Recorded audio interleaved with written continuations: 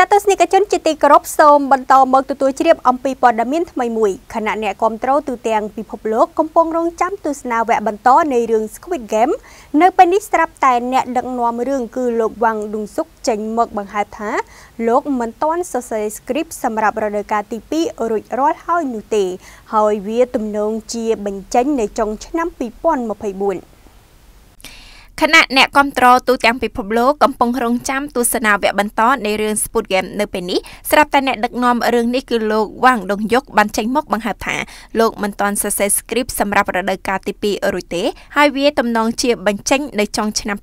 2024នេះបើតាមការចេញផ្សាយដោយសារព័ត៌មាន Street Time តាមរយៈការចូលរួមនៅក្នុងមហោស្រពទីក្រុងកាន់ប្រទេសបារាំងអ្នកដឹកនាំរឿង Sput Game គឺលោកវ៉ាងដុងយុកបានថ្លែងប្រាប់អ្នកកាសែតយ៉ាងដូចនេះថាខ្ញុំត្រូវធ្វើការនៅរដូវកាលទី2សង្ឃឹមថាខ្ញុំអាចបង្ហាញវាដល់អ្នកគាំទ្រនៅចុងឆ្នាំ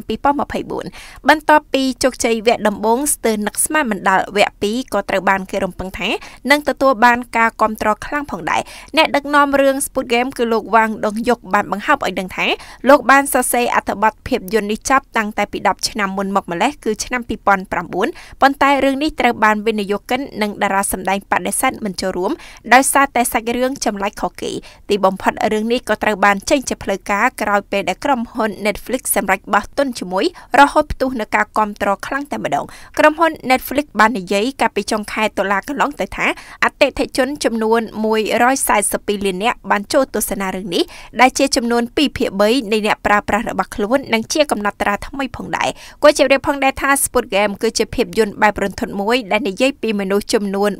455នាក់ចូលរួមលេងហ្គេមដ៏រន្ធត់និងអាត់កំបាំងដែលចុងក្រោយមនុស្សទាំងនោះត្រូវបានបាត់បង់ជីវិតទាំងអស់ដោយសារតែចាញ់ហ្គេមនិងនៅរស់តែម្នាក់គត់គឺអ្នកឈ្នះខណៈដែលអ្នកឈ្នះគឺតួអង្គសេអងហ្គីហ៊ុនដែលមានឈ្មោះពិតថាលីចុងជេរឿងនេះចំណេញប្រាក់បានរាប់លានដុល្លារពីការចាក់បញ្ចាំងលើ Netflix និងបានក្លាយទៅជារឿងភាគកូរ៉េទី1ដែលស្ថិតនៅកំពូលតារាងរបស់ Netflix នៅក្នុងសហរដ្ឋអាមេរិកដែលចូលនៅក្នុង Top 10ត្រឹមតែរយៈពេល2ថ្ងៃប៉ុណ្ណោះ។